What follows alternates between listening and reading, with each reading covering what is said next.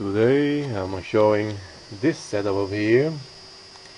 This setup is uh, a setup as oscillator uh, circuitry and the back EMF this time is being used to light up this light over here and also being used to do real work as they call it to drive a DC motor. Uh, I'm running it to this wire. It's a uh, adapter, a grid adapter. It's around 14 to 15 volt DC input.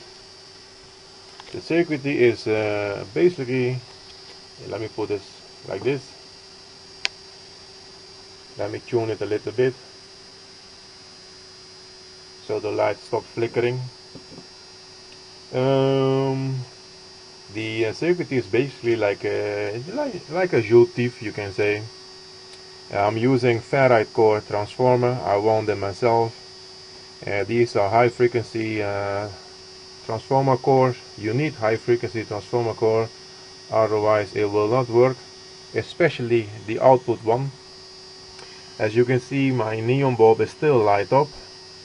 I have light over here also and the same back EMF is going through the diode it is a uh, fast recovery diode through this transformer. It is a one-on-one transformer through a bridge rectifier and through these two capacitors here. These are capacitors are 15 volt DC at 25,000 UF each. I have two in parallel, so this is 15 volt DC at 50,000 UF each. Sorry, 50,000 UF both of them. And the voltage in them is now 16.66, 65. I can tune it with this spot over here to get more voltage to go lower, but you have to find a good balance. Here's the DC motor running. If I uh, put my finger on the shaft, you can see the voltage drop hope you can see that in one view see now it, the voltage in the capacitor is now third sorry 15.40 and climbing gonna put some more pressure on the shaft It's a pretty uh, big uh, DC motor, not super big but not small either. The torque is pretty good. So in this system, in this setup, I have light coming off the, the back EMF like we all do, everyone is doing that, but also this time I have real work as they call it, in this case a small DC uh, motor turning over here. Very simple setup I haven't seen no one doing something like that. I don't know why but it's very simple it's very straightforward. You don't need to be a rocket scientist for this. Uh, just some common sense and some uh, fantasy and just go for it. As you can see in the dark the voltage in the capacitor is still climbing. I can tune it with the pot to be stable around this voltage, but uh, or go higher and so on and so on. Pretty good light. The light is awesome, as always.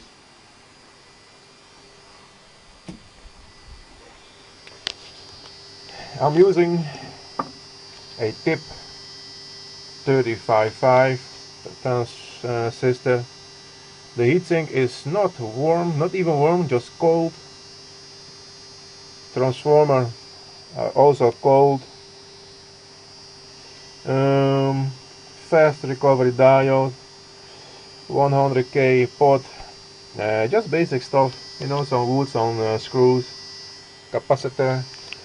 Uh, for those you wondering, the uh, transformer is on the um, on the diode that is coming from the collector and the other lead from the transformer is going to the positive of the input not the negative the positive. Put it on a negative it will work but not as good. Positive is the best. Let the system tell you where it wants to be. And now you have a oscillator circuit working with um, light. And also let me turn back on the meter and also back EMF doing work. Back EMF going to a transformer a high frequency transformer full wave bridge rectifier. This is not a uh, fast recovery diodes full wave bridge. Uh, should have do that also but anyway this is just yeah, proof of concept you can call it and capacitor if I play with the um, the pot you will see the voltage. Voltage is now going up rapidly but the light is start to flicker. The light is not steady. The motor speed increases of course because the voltage is going higher. But I want to come back a little lower now. Now the light is stable and pleasant for the eyes the voltage still keep climbing up. Now it's flickering again so I have to go a little bit lower.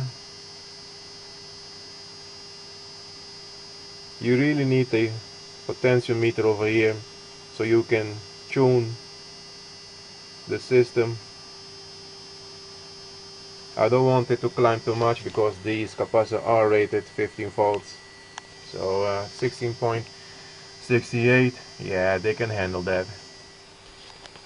Gonna put some pressure on the shaft again and see the voltage decreasing. 15.5 now 15.60 put some pressure on it again. Now it's 15 volts. Some pressure one more time 13.5 and it will climb again back to its original start. So yeah back EMF can be used to do some useful work. Anyway it's just a test. I just wanted to know because I read a lot on back EMF that they can do work and you know stuff like that. So I decided to test it myself and yeah it can do work depending how you configure your system this is an oscillator for those of you who have a pulse motor on it with back EMF um, you may use you can or I have to say that uh, you may be able to use a normal transformer laminated core because uh, pulse motor have a lower frequency of course. You can try it but if your pulse motor have um, pretty high RPM it is best to use a transformer with a core that is uh, made for high frequency. I already tested this one with a laminated core and I didn't get almost no output. So high frequency core is important depending on your setup.